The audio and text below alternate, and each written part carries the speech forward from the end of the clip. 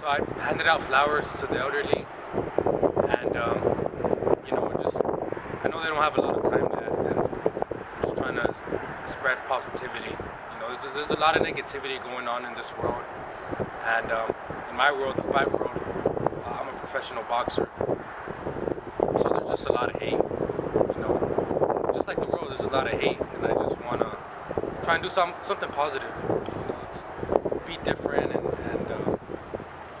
just try to spread love through this through this sport that I'm in. It feels good, you know. It feels good spreading love, spreading positivity. It's a good feeling, and I don't know how people can, you know, spread negativity and and feel good about it. You know, it's a better, it's a way better feeling when you spread positivity and do something good. It's it's a really good feeling. I'm from West Texas. I'm from Pecos, Texas, but I'm just trying to spread as much love through the world as much as I can.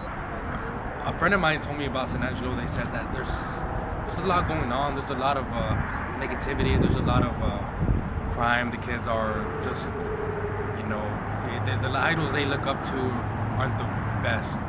So I'm just trying to do something different and, and be different. What's next is just spreading as much as I can through this sport. I'm a professional boxer now.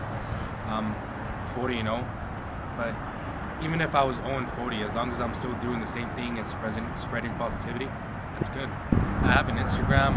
I am King Abel or Facebook Abel.